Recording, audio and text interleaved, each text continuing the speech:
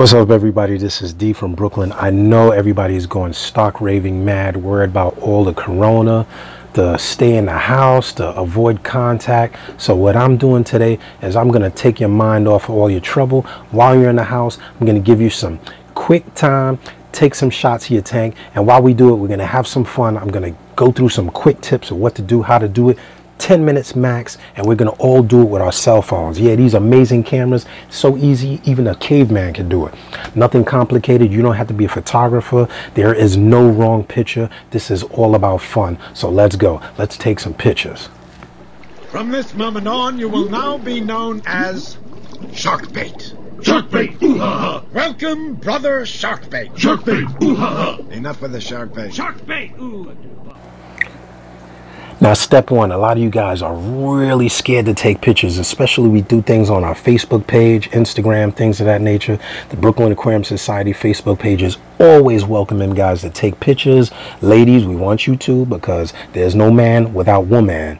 Um, so, first thing you want to do if you can do it the best thing nothing can hurt you more than a shaky picture you're shaking you're trying to keep it steady and you end up with a blurry picture for this i give you this the tripod you can get a tripod from anywhere from a little baby like this which is like 10 15 dollars that i take with me when i go to shows just so i can put it on a flat surface take pictures. I don't end up with shaky pictures. I can turn it. There are legs. It'll stand up and you end up with really good pictures.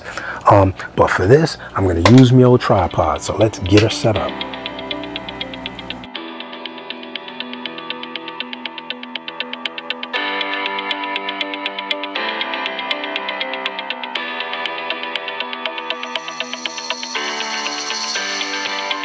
Now you want to definitely turn the flash off, look at the lighting on the aquarium, and make sure that you are tilting your camera with the light, not against the light. That means if the light is shining down, you want to tilt your camera on a downward angle so that you can avoid that nasty glare and then click focus and you will get a nice sharp picture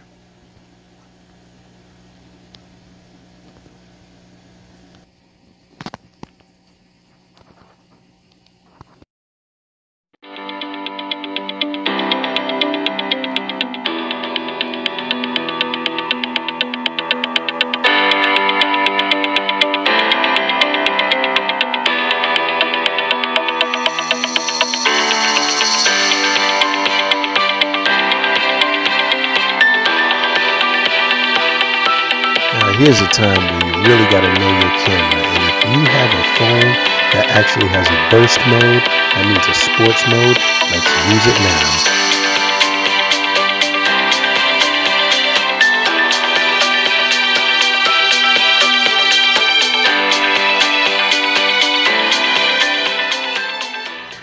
Here's a little game time for my friends out there that have iPhones with that quick focus and additional lens.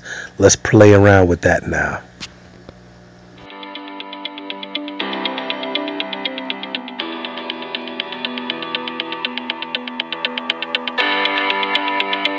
Have you ever spent hours just trying to capture the picture of the patterns in a particular fish? Well, take a lot of pictures until you get the shot that you like.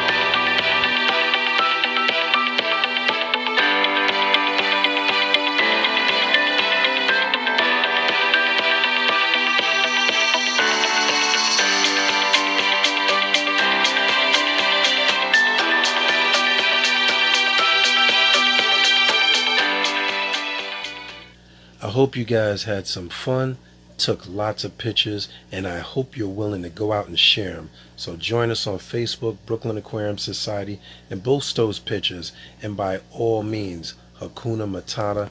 It means no worries, be happy, share those pictures, stay stress free, live long and prosper, love, peace, and hair grease. This is D. I'm out. See ya.